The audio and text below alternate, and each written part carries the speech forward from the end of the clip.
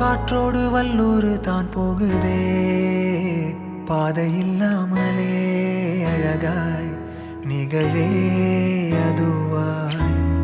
நீரின் ஆழத்தில் போகின்ற கல் போலவே ஓசையெல்லாம் துறந்தே காண்கின்ற காட்சிக்குள் நான்